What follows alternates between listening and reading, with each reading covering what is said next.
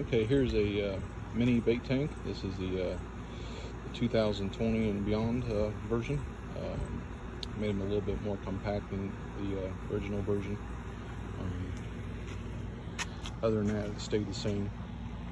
Uh, pretty cool little tanks. All of them will have drain plugs. Uh, the seams will be in the back. These have extra thick lids on these along with any of the tanks that are bigger. Um, has an ammonia vent, allows your ammonia and stuff to escape out of the tank. We'll have four knobs, uh, oversized 3 8 knobs with stainless inserts. They will not rust. Um, also have storage posts back here. So when you're, you're fishing, you take them off the front. You can store them back here. That way you don't lose them. Open up your lid there. These come equipped with uh, Danco Venturis.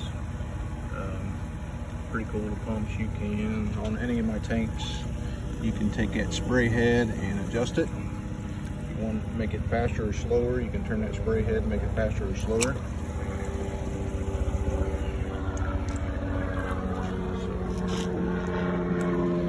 pop this lid off here.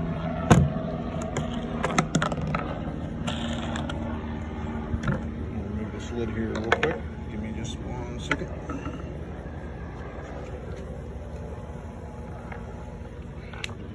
bait area. Completely round, so it doesn't take a lot of uh, force to get that thing spinning good. Say you can, if you want it faster or slower, uh, you can turn that spray head. Uh, in here you got a single standpipe with two uh, filter socks. Got your air adjustment valve there. You can turn that in if you want to adjust your air. You want to cut it down or increase it, you can do that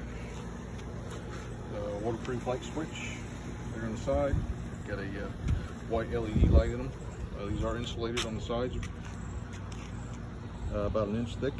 So pretty cool little tanks, probably my most popular seller for sure, uh, just because of the compactness and stuff of it.